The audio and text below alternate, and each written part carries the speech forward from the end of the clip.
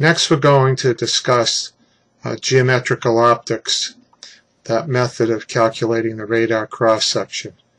And the current contribution is assumed to vanish except at isolated specular points. That's the basis of this method.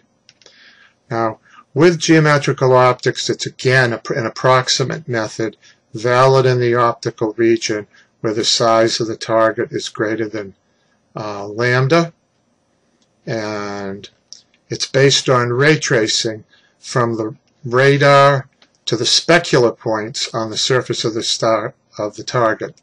And specular points are those points whose normal vector points back to the radar.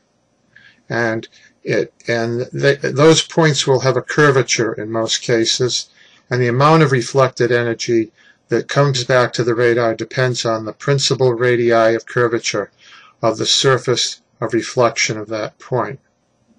And we'll go into it later, but when uh, there isn't a curvature to that point, it's planar, and this method breaks down, but we'll get to that later. Geometrical optics calculations are pretty reasonably accurate to 10 or 15% for radii of curvature of 2 lambda to 3 lambda, and it, it breaks down with flat plates, as I said, with cylinders, which would have one dimension, would, would have an infinite radius of curvature, and other objects similar, and also at the edges of targets like flat plates. Now, here's in a view graph that will show you uh, how with the, we get to the, ra the, the radar cross-section of a sphere. The power density ratio, uh, if we have incident rays and they come back, is the ratio of the, of the power density of the scattered rays to the power density of the incident rays. And they are proportional to 1 over the surface, 1 over the area. And, and and that's this ratio, and that goes to the area that's incident and the area that's scattered. Now, the area that's scattered is r squared uh, times the, the solid angle with this specular point, and 4 pi, um, where a squared divided by 4 times d omega is the area, incident area. And the radar cross-section is just 4 pi times uh, r, the distance to the radar, divided by those quantities. And that comes out to pi a squared. So for the cross-section of a sphere, we get just the, the area that's the area subtended by the sphere, pi a squared. And in general, for an arbitrary specular point, the cross-section is pi times the, the radius of curvature in one dimension times the radius of curvature in the perpendicular dimension uh, at the specular point. Now, geometrical optics can take it as a method because it's looking at the, these curvatures. You can have single reflections, but it also takes into account double reflections.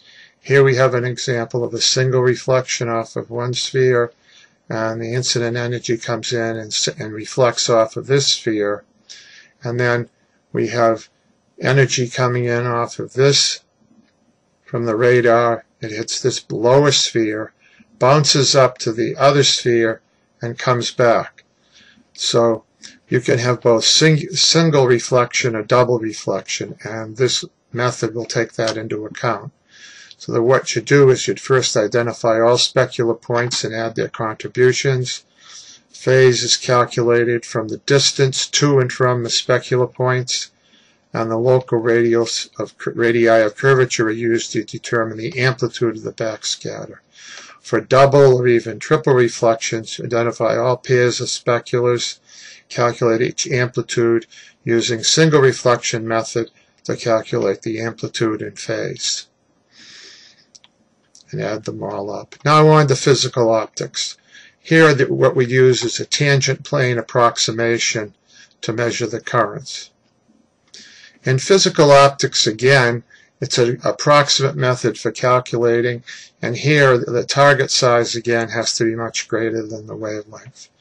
The method used is we take the Stratton-Chu integral equation form of Maxwell equations, you remember that from the method of moments, assume that the target is in the far field, and assume that the total fields at any point on the surface of the target are those that would be there if the target were flat and it's called the tangent plane approximation. We assume a perfectly conducting target, and then the resulting equation for the scattered electric field can be readily calculated because we're going to be able to get with this tangent plane approximation the currents quite readily. And the RCS is easily calculated from the scattered field. Uh, the uh, physical optics gives great, great results um, if you're a normal or near normal incidence, let's say less than 30 degrees, and gives poor results at gra grazing angles and near the edges. That's where diffraction comes into play, and also the leading and trailing edges of wings or edges of flat plates. Now here's a view graph which shows you what's going on here. Uh, the perfect here's an infinite perfectly conducting plane and for that case, and, and, in this case the electric field is out, and here we have down the uh, magnetic field. It comes in and current is induced on this uh, plane, and then out comes the scattered energy. Now, the uh, what we assume is for an arbitrary conducting surface that for that small area where the ray comes in that it's perfectly tangent.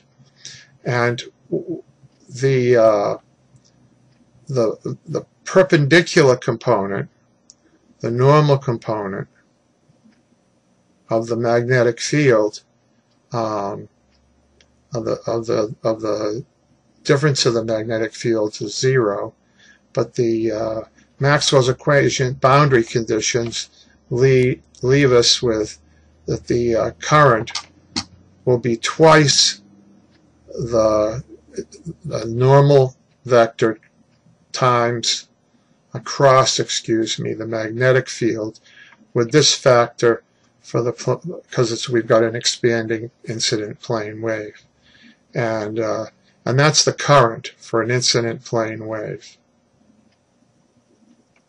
That's the scattered current, excuse me, from an incident plane wave. And so we can quite readily substitute this uh, scattered current into this case. We don't get the scattered electric field. Now, what happens when the, what's the difference between normal and oblique incidence? In physical optics, the contributions add constructively in phase that come in. And for large plates, the edge contributions are very small. Uh, and so we get very good results where physical optics will be valid, except near the edges. And uh, near the edges, uh, what we have is oblique. We have a, a, oblique waves come in and what happens is that we have Fresnel zones where the phases alternate. And in the um, oblique spec in the scattering, these will all cancel. And what we'll have is because uh, of the different phases and the and the, the edge currents will predominate. And that's just set over here. And uh, the backscatter direction, physical optics contribution is predominantly canceled, and we end up with the Fresnel zones at the edges causing most of the of the uh, effect. And we see that over here with this measurement, uh, first in uh, this uh, bluish color, and then the red down here we have the physical optics uh, approximation calculation, we see that we get very good agreement, pretty much out to 30 degrees between measurement and the physical optics approximation, where we're measuring uh, the cross section between 0 and plus or minus 90 degrees from the normal, where we come in with an incident wave and go out theta. That's the, the aspect angle. But over here, but, but the physical optics doesn't give us the edge effects and that uh, the, the edge currents uh, the, that I talked about earlier uh, on this view graph are what give us those edge currents correctly. The, the physical give us the scattered electric field because the main contribution is the edge currents. Granted, they are down uh, almost 20, you know, 10, 20, almost 30 dB from the peak of the, the specula. Uh, but they they are a contribution that is, is just not there with the physical optics approximation. And we see also that both theories predict that the maximum cross-section at broadside is 4 pi times the area squared divided by lambda. And this is a 15 by 15 centimeter plate at 10 gigahertz with horizontal polarization on transmit and receive. Okay, now let's move on to geometrical theory of diffraction. We've seen that both the geometrical theory of optics and the physical, op physical optics um, have problems at the edges. So what we want to do is to add edge contributions. And uh, it, with the geometrical theory of diffraction, uh, in 1957, Keller, in a very classic and interesting paper, uh, broke great ground in making that calculation. And he used a ray tracing method to calculate the diffracted fields at the edges so that if we have an incident electric field, um, he, he, postulated and showed that an edge diffracted field on a cone, excuse me, would would would the uh, energy would come off at the at the conducting wedge. The half angle of the cone would be beta. It's equal to beta, but the angle between the edge and the incident ray. So that's the edge and the incident ray, and that's beta. And the diffractive field is proportional to a number of coefficients, x and y, which are the diffraction coefficients, and also a divergence factor, uh, gamma. And so the electric field, the diffracted electric field is given by this quantity. And the coefficients have either a minus or a plus depending on whether the E field, the incident E field is parallel to the edge or the H field is parallel to the edge. And the divergence factor uh, reduces the amplitude as the rays diverge from the scattering point. And that and, and, and that accounts for curved edges. Now the whole question is, is what is x and what is y? Okay, I'm just not going to go into the details of it. You can look in uh, Knott's book, Eugene Knott's textbook, and uh, see what those numbers are and their relatively complicated functions of the different geometries and angles. But here, the Keller cone was a great breakthrough in calculating edge diffraction with the geometrical theory of optics.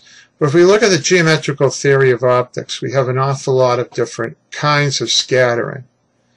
And uh, first thing I'd like to know going back is if you're using the geometrical theory of optics, you wanted to add in the Keller uh, uh, diffraction off of an edge, since the electric fields are all vectors, you could take the electric field that's due from the end cap reflection that's scattered back at an angle, and then the diffraction. Add those scattered electric fields, take the magnitude, and you you know and put that over the, the, the square of the magnitude of the incident field and multiply it by the 4 pi r squared. And that would in the in the limit of long distances between the target and the uh, radar that would be your radar cross section. Now ray tracing also has an awful lot of other different kinds of physical phenomena that you can deal with. We've got I've gone over edge diffraction from a wedge. You can also have it from a plate. You can have corner diffraction, and of course reflection, and this for a plate. For a cylinder, we can have a creeping wave around it or a sphere. We're not going into the physics. A little later, we'll touch on that, show you an example. We can have side reflection, and I've talked about a specular, which you could have off an end cap. And there again, you just add up the total electric field from each component. It's easy to understand with multiple interactions. The disadvantage is it's difficult to implement for complex targets like uh, an F-16 with bombs and fuel tanks on the wings and jet engine inlets, and it requires a more accurate description than the physical theory of diffraction. Now let's move on to the physical theory of diffraction. And here what we're going to do is we're going to take the physical optics and we're going to add edge current contributions to that.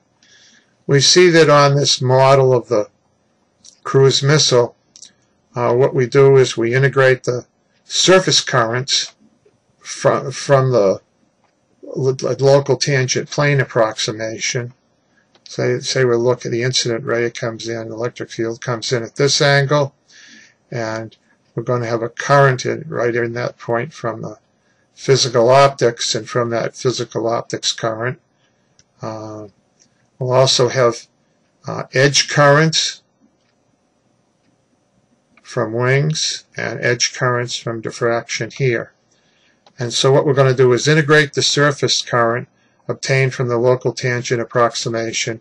We add in any edge currents to the object and the advantages are there's reduced computational requirements and it's applicable to an arbitrary complex geometries. The disadvantage is it neglects mutual interactions or shadows. The, the, the back part of this wing might be in a shadow and if you're calculating the cross section as a function of angle, it won't take into account those shadows. Now physical uh, the physical theory of diffraction. Um, notice all these, I want to say first a moment, a word or two about these edge effects and um, and edge currents and wedge, you know, the, the, these lower level um, additions to the speculars, which are the main cross section. Uh, if one is looking to make a a vehicle or an object that's very, very, very low cross section, you've seen from what I've talked about before that it's a very straightforward thing to calculate the big main contributor. But to know the, the, the contributions of effects that are 40 or 50 dB down from the main contribution are quite difficult mathematically. And that's why these theories of diffraction have been added. And going back to 1896, uh, Sommerfeld, the, the mathematician, developed a method for finding the total scattered field from an infinite perfectly conducting wedge. When, when I say mathematician, uh, computational electromagnetics professionals are experts at applied math and they're also experts at, at Maxwell's equations, electromagnetism. The two go hand in hand. And uh, anyway, he can he calculated the, the that perfect that field, the scattered field from an infinite perfectly conducting wedge. But we know no air breathing vehicle at all has a perfectly an infinite perfectly conducting wedge. And it was a real complexity. People didn't know how to calculate it for a finite. Um, a Russian um, a brilliant guy, uh, Ufimtsev, in 1957, published in the Open Literature a very famous article, if you're into this business, uh, to obtain the edge current contributions by subtracting the physical optics contribution from the total scattered field. And that allowed uh, that paper was written in Russian in about 57. It was translated into English, I think, in the early to mid 60s. And um, it's been written up in uh, book that that was a just a seminal paper to understanding um, accurately from a paper a conceptualization of an air, um, you know, an airframe, what its cross section would be, which you have to do before you build the plane.